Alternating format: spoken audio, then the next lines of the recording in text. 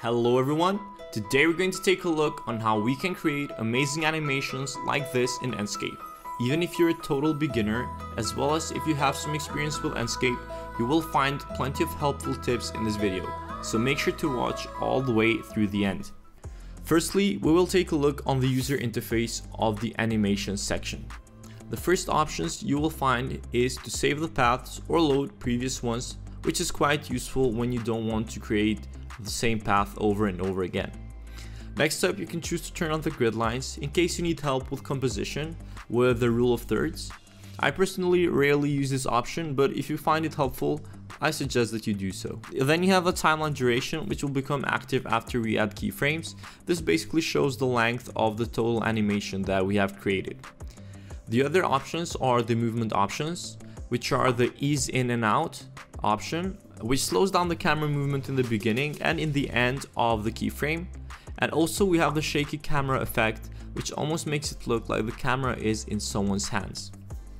And then down here is the timeline section, which is the most important one of them all, or at least the one that we will be using the most. So next up, we'll go through on how the keyframes work.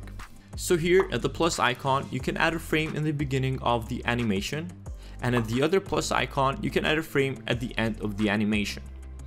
We move the camera from the original position in the second keyframe, that way we create movement. And to add keyframes, as I said, you can either press the K key or the plus icon. I like to use the K key as well because it's just faster and is just a shortcut. So basically what you've done here with these keyframes is that you've added a point A and a point B and basically this tracks down all the movement that it takes to move from point A to point B with a camera. The default time that Enscape set up the movement to happen is in this amount of seconds, but we can change it here at the timeline duration. If we exit the keyframe and take a look at the cameras, you can see the path that the cameras take. If you want to check if the path is correct for you, you can easily click the play button right here and you can check the movement that the camera takes and it's basically like a little preview of the path. It's not a full rendered animation, but it still works fine to see if everything is going correct in the process of creating the animation. Let's say we want to create a curvier path on the video. The easiest way to do that is to exit the keyframe once again and hover the mouse anywhere on the path. Once you hover your mouse on top of the path, you can easily click anywhere to create a new keyframe in that position.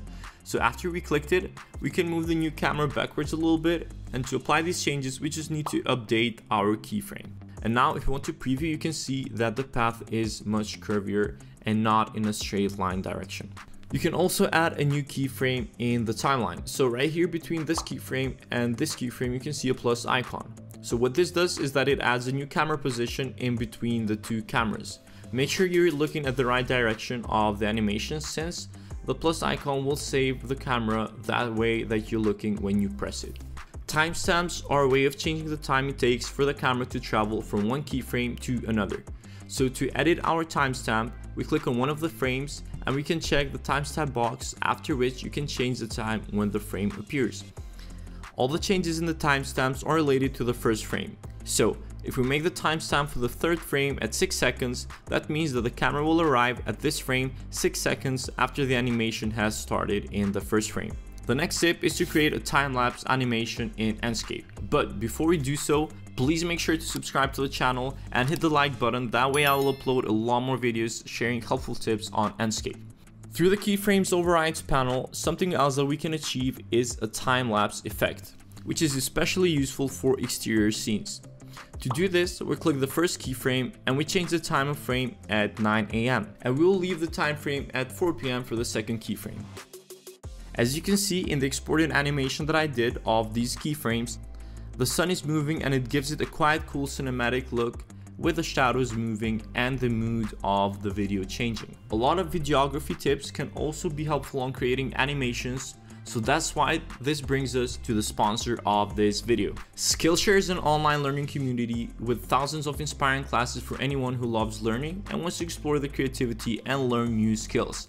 I myself joined Skillshare because I am looking more into videography and composition where I am taking the Videography for Beginners course by Randy Allen. I believe the course will improve my presentation skills and animation since a lot of the tips are applicable in the ArchViz world as well. It is also a great place to improve other areas like illustration, graphic design, freelancing, and any other type of creative outlet that you think can complement architecture or any of your hobbies. Skillshare is ad free, so you won't need to have any distraction while you're exploring new skills.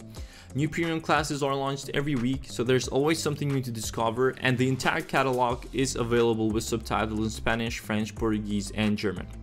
The first 1000 people who use the link in my description box or my code SCALE will get a one month free trial of Skillshare. Thank you to Skillshare for sponsoring this video and now let's move on to our animation.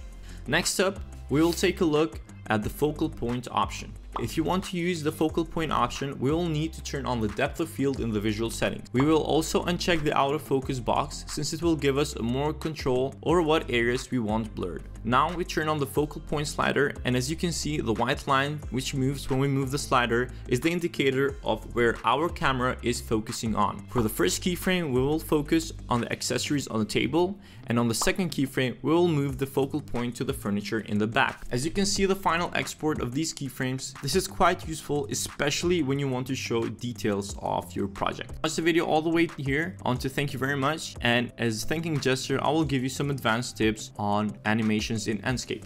The first advanced tip I want to share with you is the wind effect and this is mostly applicable in exterior animations. If you want your vegetation to have movement throughout the animation, we can do that simply by going on the visual settings menu, clicking on the atmosphere and changing the wind intensity and the direction angle.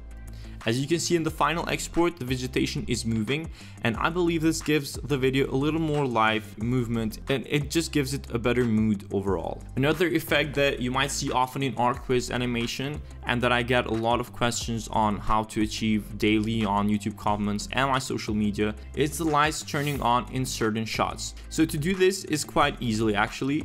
You export the same path twice and the first path is with the lights turned off and the second one will the lights turn on or vice versa, it doesn't matter. And after that, on whatever video editor you use, you can add a fade transition effect and that should do the job just right for you. Alright, so we have come to the end of this video and thank you very much for watching all the way to the end and make sure you check out my Patreon, comment if you have any questions and I will see you on the next one.